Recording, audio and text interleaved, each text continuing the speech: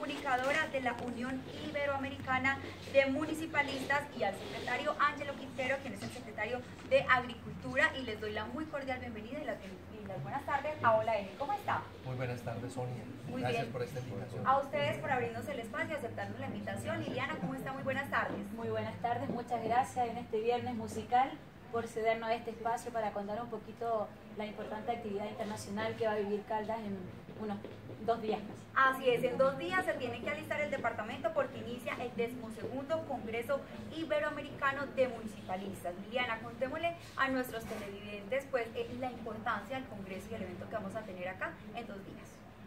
La importancia es que Caldas se pone en el escenario mundial, en el escenario de todos los países de Iberoamérica y puede presentar las bondades de su gente, de lo que están trabajando en cuanto a gestión pública local y también, por qué no decirlo, de lo que está pasando en la calle, porque van a, poder, van a poder interactuar y van a poder compartir con más de 700 autoridades públicas que vienen de los 23 países que forman Iberoamérica a este eje cafetero que tiene mucho que enseñar y también mucho que aprender. Entonces vamos a estar trabajando durante cinco días en unas jornadas que van a estar destinadas a trabajar sobre los objetivos de desarrollo sostenible, que es un tema muy importante porque para que la gente lo entienda de manera muy coloquial, trabaja en asuntos tan importantes como la igualdad de género, como el cambio climático, como la superación de la pobreza y otros asuntos que no son de grandes esferas, sino que son cosas que a la gente le afectan en su día a día. Así es, van a plantear desde lo local para el desarrollo global sostenible. ¿Es correcto, secretario? Sí, efectivamente. Como nosotros desde los municipios, el más pequeñito del departamento de Caldas o de Colombia, le aporta a la sostenibilidad ambiental, a la adaptación al cambio climático, igualmente a las buenas prácticas que se están realizando en esos municipios para poderlas compartir aquí con otros alcaldes de otras regiones de Iberoamérica. Yo creo que, bueno, me uno a esta entrevista con el buenas tardes para el secretario y para Liliana. Bueno, yo considero que también eh, cuando hablamos de esos gobernantes que precisamente en jurisdicciones de municipalistas pues tienen muchos eh, intereses de todo tipo, es importante empezar a adaptar todo lo que tiene que ver lo relacionado con la sostenibilidad. ¿Qué tal es la recepción eh, para las personas, a los alcaldes, cuando se les proponía este tipo de escenarios? ¿Era fácil, era viable o todavía se encuentra a veces como mucha resistencia porque no son muy conscientes de lo que en este momento la ola verde trae como consecuencia? A ver, hay que hacer hincapié en que cuando nosotros tratamos de hablar de este tipo de temas, para la gente aún es bastante distante. En el tema de los alcaldes, a veces es un poco lejano, no por la temática ni porque no alcancen a dimensionar la importancia, sino que porque la agenda del día a día supone algunas cosas que son mucho más urgentes para la ciudadanía y por, y por tanto esto tiende a verse como una cuestión de segundo orden lo cual es un fallo muy importante porque por supuesto que la calidad del aire, la calidad medioambiental, asuntos tan importantes como la superación de la pobreza al final nos afectan y pasan a ser urgentes y son muy importantes de...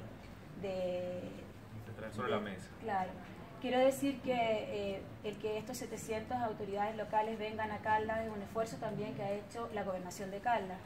Nosotros como Unión Iberoamericana de Municipalistas anualmente tenemos un encuentro internacional que va rotando ese y, quiero ponerlo aquí de manifiesto que fue el doctor Angelo Quintero quien en Santiago de Chile, que fue nuestro último evento internacional, propuso a Calda, señalando que aquí se estaba trabajando por la sostenibilidad, por desafíos muy importantes y que era justo ponerlo en valor eh, frente a toda la comunidad de alcaldes, senadores, ministros, concejales que van a venir, insisto, de estos 23 países.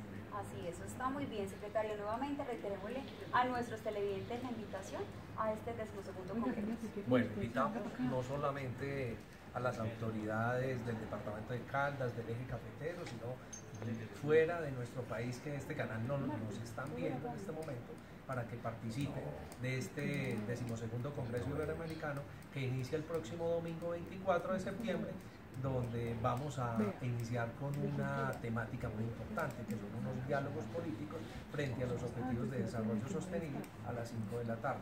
Y el día lunes 25, mm, sí, 25 vamos a inaugurar eh, ya el Congreso con todas las personalidades que van a asistir a las 8 y 30 de la mañana y ya empezarán las plenarias y todo el desarrollo del Congreso y de esa manera pues vamos a, al final del ejercicio vamos a sacar un documento que es una proclama que se va a hacer la proclama de Caldas, donde vamos a dejar unas directrices para los próximos años, o sea, para dentro de dos años hacerle seguimiento, cómo vamos evolucionando, qué debemos ajustar y de esa manera llegaremos a cumplir esos objetivos de desarrollo sostenible en el 2030 que nos lleve a la acción de su secretario. Vamos a estar también muy pendientes, yo creo que los medios de comunicación, ante todas esas conclusiones. Liliana, muchísimas gracias por venir al secretario también, desde luego, y bienvenida a Manizales a Colombia. Muchas gracias. Debo decir que llevamos solo horas en Caldas. Sin embargo, queremos poner ya de manifiesto que la gente de Caldas ha sido muy amable, nos ha recibido con mucho cariño y queremos que eso sigan haciendo con los invitados internacionales. Van a tener la posibilidad de ver gente de Chile, de, de Colombia, también de, de otros departamentos, de, de, todas las naciones de Iberoamérica y es muy importante que puedan conversar con ellos, interactuar y que también puedan asistir al Teatro de los Fundadores, al Centro de Convenciones, donde vamos a estar trabajando y va a ser un agrado compartir con la ciudadanía con la gente de a pie de Caldas. Muy bien, Liliana, muchísimas gracias. Vamos a revisar rápidamente nuestro WhatsApp. Nos dice entonces Dolly en Pácora Caldas. Hoy no me podré ver el programa, está